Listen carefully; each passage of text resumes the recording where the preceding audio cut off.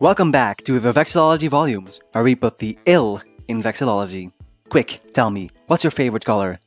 Alright, very cool, I don't care. Do you know who else has favorite colors? Flags. They like colors so much that often it's the only thing that's on the flag. Most of them don't need any symbols because the colors themselves are the symbolism. So let's talk about the history of flag colors and what they stand for. And for those who are colorblind, don't worry, you can be a test subject instead. Let's jump right into it.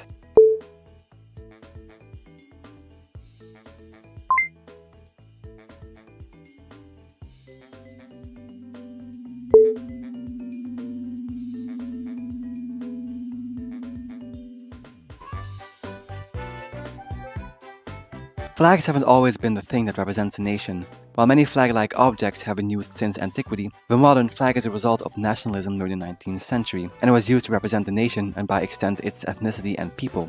In the Middle Ages, however, coats of arms were much more popular. You know, that stupid thing that's on the flag of a state you live in? The science of studying these coats of arms is known as heraldry, and they've got their own special rules to set themselves apart from vexillology. Colors are known as tinctures, and only seven of them are completely agreed upon to have that status. And they've all got special names based on the Norman French language. Argent, or, gules, azure, vert, sable, and purpure. Many modern European flags take their colors from their coats of arms, so it's important to go over them. These seven are split up into two groups. The metals, argent and or, and the other five are colors. This is because the first two came from silver and gold, while the latter five were made from dyes. The reason why this matters is the rule of tincture. You cannot make multiple metals touch each other, or make multiple colors touch each other. Why? Because coats of arms are used to recognize a knight under all of their armor, and if you're in an environment where it's difficult to see their shield, then the only way to recognize it is by the contrast of the tinctures. Argent and or are too light, and the colors are too dark, so at a distance they sort of blend together. Let's compare the flag of Denmark to the flag of Oldenburg. The former follows the rule of tincture and the latter does not. Even from this, you can see that Oldenburg looks wrong, right? Now, see what happens if they're in grayscale, dark, and at a distance. I hope you noticed that Denmark was still recognizable, while Oldenburg was just one color. So states in the Middle Ages usually wanted to avoid this problem by following the rule of tincture. Here are a few examples. The Heptarchy is back, baby! Alright, now turn into coats of arms. Perfect. The only one you can kinda argue doesn't follow the rule is Essex, with their argent and or touching. That's because argent is the natural color of the sword, and is thus actually allowed, although rules like that are usually used for animals or vegetation. Ever wondered why so many tricolor flags have a white or yellow band in the middle? Well, this is why. A technique that some flags use to make sure that they follow the rule is known as fimbration. Norway would have their two colors touch, but in between are thin lines of argent, so it follows the rule. But my favorite one has to be South Africa, which, even though it has six whole colors on its flag, never breaks the rule of tincture because of its argent and or fimbration. Well played. If you don't want to do either of those, then you can just settle. Germany and Russia, for example, have moved their metal from the fess to the base and chief respectively, and they still look pretty good. Albania does it right without even needing the tricolor format. Belize. And because I have no control over myself, here's a quick mapchart.net map that I made to show you which national flags follow the rule of tincture. Also, I posted this on my community tab and made people guess as to what it meant for a mention. You know, thinking that surely nobody's as huge of a nerd as me to actually get it right so that I can just use this as an advertisement for my community tab.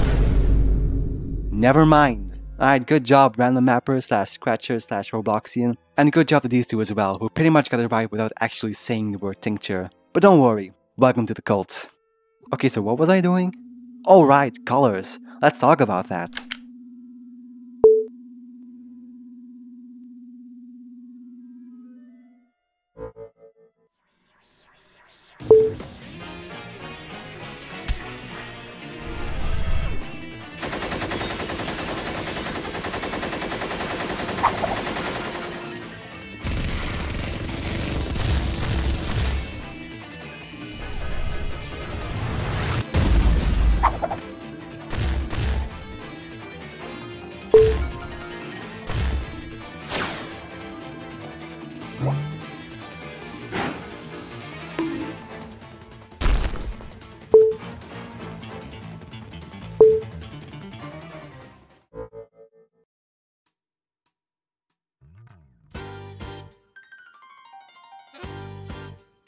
Argent is a name for white, coming from the metal silver. Tinctures didn't actually symbolize anything, and the tinctures of most coats were chosen arbitrarily, but humans really don't care and plaster symbolization on them anyways. Because of this, Argent often represented purity. Some colors have had the privilege to be the only one on a historical flag. White is one of these, with both the Umayyad Caliphate and the Bourbon Restoration being represented by mono-white banners. We should probably give them hats. That'll probably never happen today though, because the current meaning of a white flag is to surrender. Florida even changed their flag because of this reason. National flags that contain white either adopted the purity meaning it had in the Middle Ages, or it represents peace. If it's combined with blue, it probably means the sky, since blue would represent the sea. The national flags with the most white on them are Cyprus, Japan, and South Korea. If we were to combine all national flags into one super flag, white would cover about 18% of it, which is the second most. Or is named for yellow, coming from the metal gold. It usually meant wealth or obedience to the faith, and by faith I mean Christianity. The Sultanate of Brunei had a purely yellow flag for quite a while. Otherwise, mono yellows are often used at sea to communicate sickness. Naval signal flags are pretty interesting and you bet there will be a volume for that as well. Currently, flags with yellow on them either still mean material wealth or faith, but they get a lot of different meanings as well. One notable meaning is the sun, either implied or literal. The national flags with the most yellow on them are Brunei, Spain, and the Vatican. The super flag would have a yellow cover about 9% of it. Respectable, but not much. Gules is the name for red, and it's one of the five colors. Let's not beat around the bush here. There's only one thing that red has always stood for, and it's blood! Has your country a lot of blood in its struggles? Then it probably has red on its flag. Ah, so that's why Poland has so many of those. A mono red flag in politics often represents revolution, which is also why communism adopted it. An example of a purely red flag in history was that of Muscat and Oman. Current national flags with red on them keep the symbolization of the bloodshed, unless you're Canada, in which case it stands for England, the national flags with the most red are China, Morocco, and Turkey. Red covers about 30.3% of the super flag, the most, and it's not even close. Azure is the name for blue, and it's one of the five colors. It usually meant truth and loyalty. On our modern national flags, blue usually stands for the sea, the sky, or both at the same time. The national flags with the most blue are Micronesia, Somalia, and the DRC. The super flag has about 21.1% of it covered in blue, which is mostly carried by tiny island nations.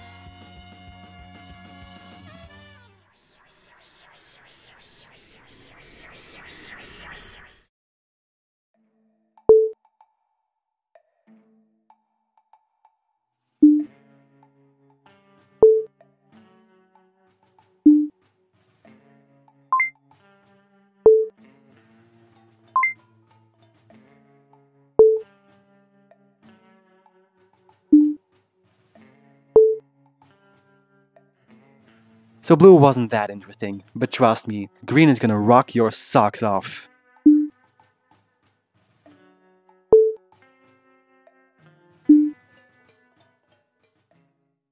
Vert is named for green, and it's one of the five colors. It usually meant hope, but most coats with green on them use them because it's the natural color of vegetation. So green as a tincture was pretty unpopular, but currently it's a lot more common thanks to it being a prominent color in Islam, as well as a part of the Pan-African flag.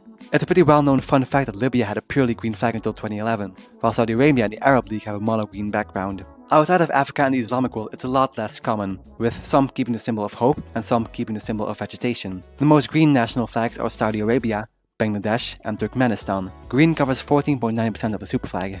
Sable is a name for black, and it's one of the five colors. It was usually put on coats as a symbol of strength, but black flags have always meant death and mourning over death as well. Pirates like death, so they adopted the color and made the Jolly Roger. Anarchists like pirates, so they adopted the black flag as well, often covering half of it with another color to show off their funky ideologies. The Abbasid Caliphate is an example of an empire using a mono black flag. Just like green, it's most common around Africa and Arabia, because it either stood for the people of Africa, because they're black, Oh, Twitter isn't gonna like that one. Or it could also mean the dark path of colonialism. This is why it's very often coupled with white for peace and red for bloodshed. There are a lot of those. The most black flags are Papua New Guinea, Angola, and Libya. It covers 4.9% of the super flag, the least so far, but it's gonna get a lot worse from here. Purpure is a name for purple, and it's the last of the five colors, but that status is often put into question because purple dye was incredibly difficult to get your hands on. Again, it's a pretty well known fact that purple was reserved for royalty, because they're the only ones with stacks fat enough to afford it. This makes it hard to talk about because barely any notable coats or flags use it. The most notable one was Kingdom of Leon, which is actually on the Spanish flag, but they changed it to pink, even though it says purpure. So the only flags that use it are Dominica, Nicaragua, and El Salvador, and you really have to squint if you want to find it on the latter two. It covers 0% of the super flag, it's completely negligible. The colors that I haven't mentioned are not recognized by heraldry and are thus pretty uncommon in modern flags. There is another category besides metals and colors called stains, but those are usually put on coats as an embarrassment, Orange is by far the most common here, and I agree, but every country that uses it slaps their own meaning on it. The only consistency here is representation of Hinduism or Buddhism, such as in Bhutan's flag and maybe India's flag. The other ones are gonna have to settle a lot more. If you like grey, then Malta and Equatorial Guinea have some. If you like brown, then Mexico's eagle is all you've got. And if you like pink, then you're just out of luck. Besides the aforementioned Spain, pride flags are your best bets. These colors take up the remaining 1.8% of the super flag, but it's pretty much just orange. Oh darn, I haven't done the joke yet. Um, if you live in a country with orange on the flag, then subscribe. Got 'em.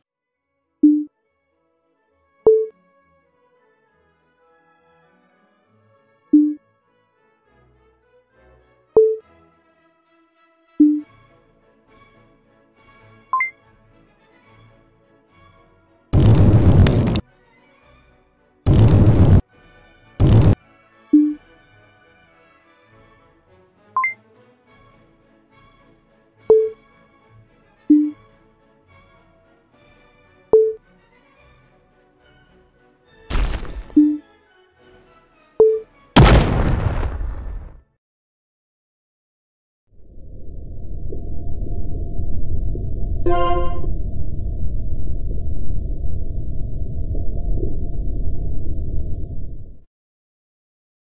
hey, welcome back to the Endless Void where I once again ask you to subscribe because who cares about dignity anyways. Next video is gonna be a big one. We're wrapping up the space arc set up in the previous two videos and it's gonna be about the origin of every national flag. Yes, all of them. Will it be out in two weeks?